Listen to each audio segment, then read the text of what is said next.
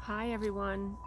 Um, I wanted to make a little video because this morning I woke up and I saw, um, you know, when I was scrolling Facebook um, about a lot of the posts about Ruth Bader Ginsburg and her passing. And a lot of people are very sad about it and just, you know, really heartbroken over it.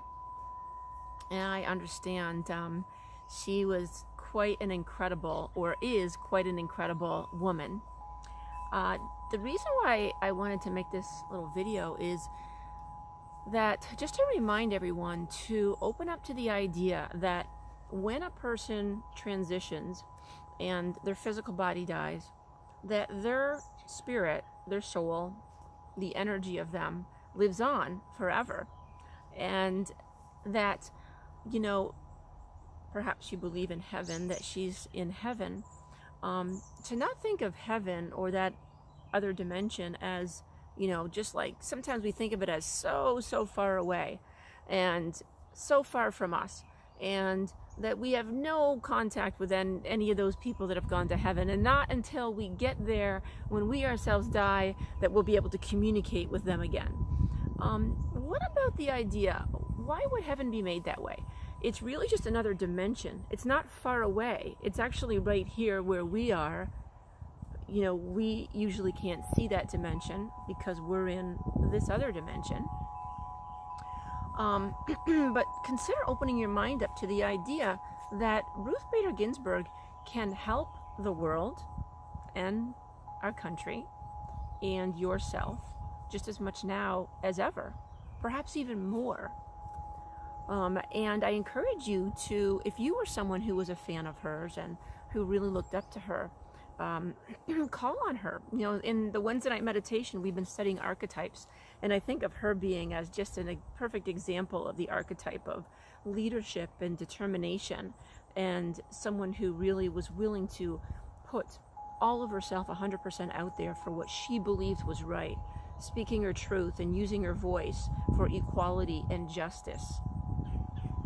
And uh, so, if in your life, uh, in in your following your purpose, if you feel like you need to have that power of her, just call on her and just say, Ruth Bader Ginsburg, help me with this, and allow yourself to feel her presence come in.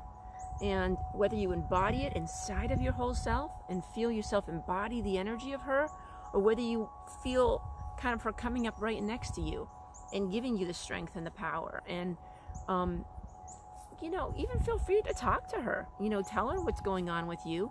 Ask her for advice. Why do we think that we can't talk to someone who's in that heavenly dimension? Um, do we think that, you know, God would really make this heaven where they cut off communication? Like, okay, you know, the way I was taught when I grew up, we could talk to Jesus who's in heaven and God, but no one else who goes there. Like, it seems kind of strange when I think of it now that God would be like, no, you know, there's no, there's no cell phone service in heaven. You know, you're not allowed to talk to your loved ones anymore. Loved ones, you can't talk to those people on earth until they get here. People on earth, you can't talk to anyone in heaven until you get there. It just seems kind of strange, you know. So I've really let go of that old belief um, and feel like I can talk to, whether it's my grandma or uh, my aunt or whoever it might be who's in that other dimension.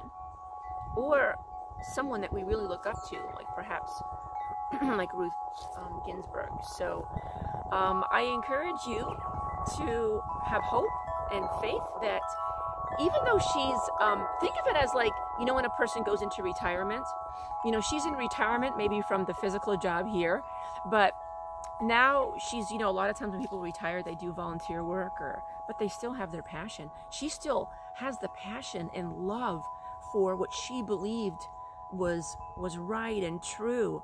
And she's going to continue working with us and for us for those causes. And um, so yes just talk to her call out to her. And i believe she will be there to help and inspire you all right, guys, have an awesome day. Namaste.